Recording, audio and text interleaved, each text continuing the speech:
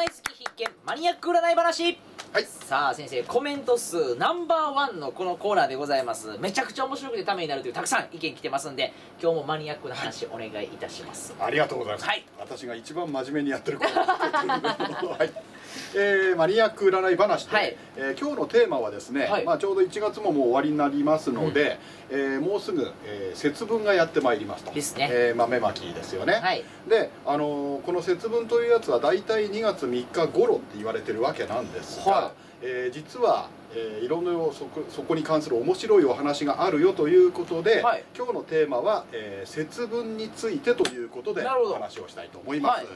えー節分ってなんとなくね、はい。あの豆まく日でしょっていうね。あればっかり有名ですけれども、厳密には節分が、えー節分独自で決まってるのではなくって、はい。えー節分の次の日が、えー春が経つと書く立春という日なわけなんです、はい。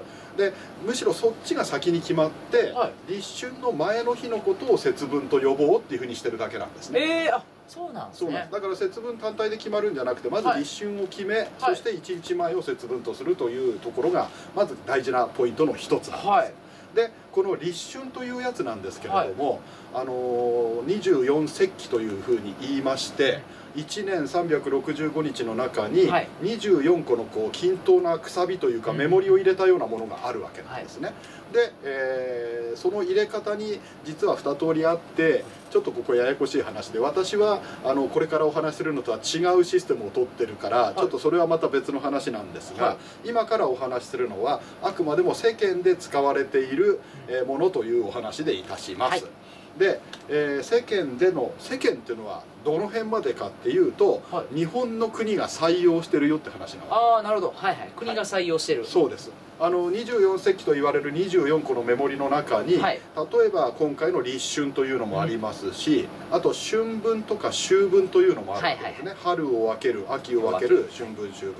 まあ俗に春のお彼岸秋のお彼岸と言われてるやつがあって、こちらの春分とか秋分は、えー国民の祝日になってるわけですよね、はい。えー春分の日でお休みだよと、はい。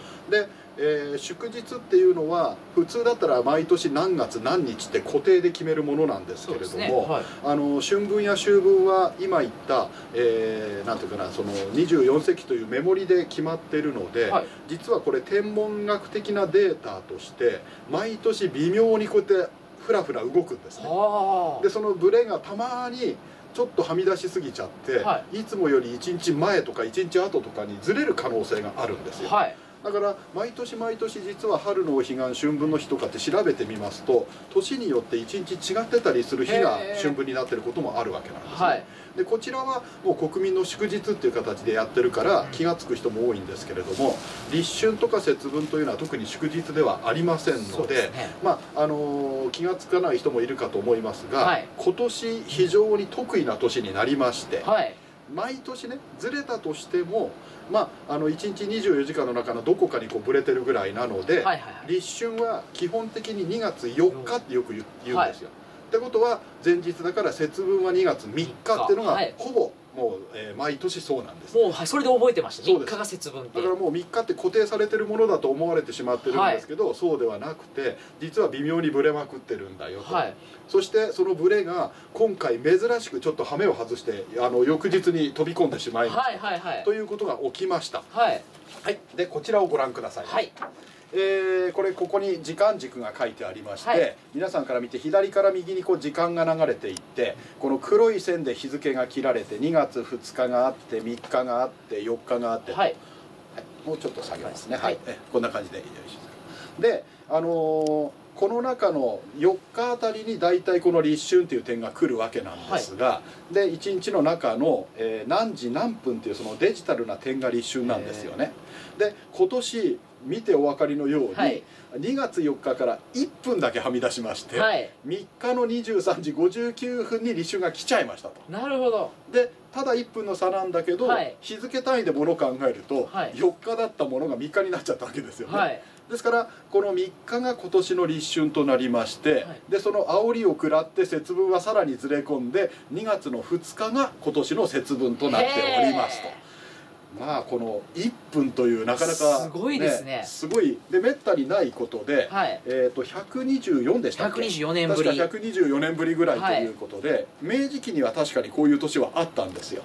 だけどもまあ、えー今回またそれくらいぶり1世紀以上ぶりに、はい。今年たまたまこういうふうになりましたと。へえまあ、えー珍しいことではありますけれどもで、えー、とこの立春の前日の節分の日に、えー恵方巻きを食べるって話があるわけですよね。